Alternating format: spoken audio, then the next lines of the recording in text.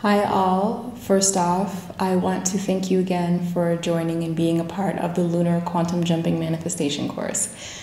We have just wrapped up our first month of the course where we did introductory videos and talks and prompts about the foundations of manifestation, quantum jumping, and lunar magic, as well as what I feel is an important note about manifestation and trauma and how to approach these two things together.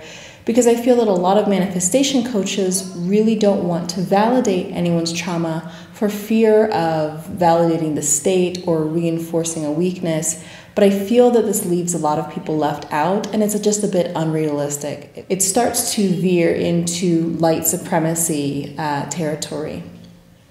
I hope that you've enjoyed the content thus far, that you found it nourishing, interesting, educational, stimulating. I know that I have enjoyed your feedback as well, and thank you again for those of you who participate, who share your thoughts, who share your questions.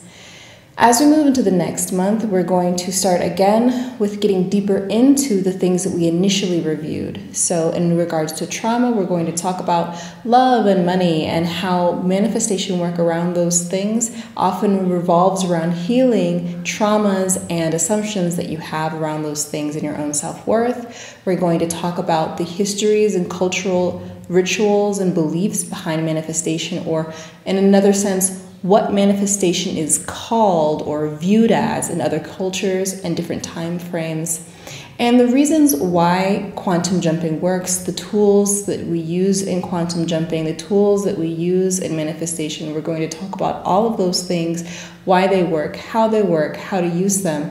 And then, after all that, we're going to talk about why or how to get to a point where you don't need any of them.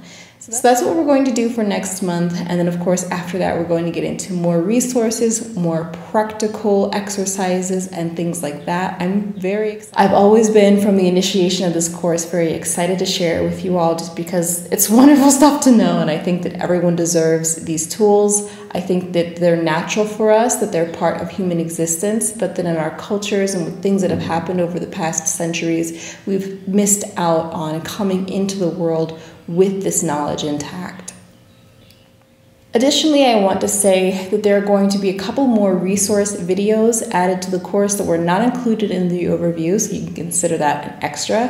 And it's more of a thank you again for all those of you who joined. Also, if you're watching this and you have not joined thus far, this is a great time to join in because you still have time to join before we start our cycle with the lunar ritual. And of course, while you can join this course at any time, and the course is through Patreon, meaning that when you access the course, you will also access all of my previous private content for the sake of being on the same page um, and making it easier for you to ask questions and know what's going on. If you join at the beginning or before we start our lunar ritual, you will be able to be in sync with the course as we go through this process following a lunar cycle. So that's all for right now. I'm going to go ahead and prepare the content for next month. I thank you again, all of you, for joining this course, for trusting me with your time, and for acting on your own curiosity. From my ancestors to yours, Peace.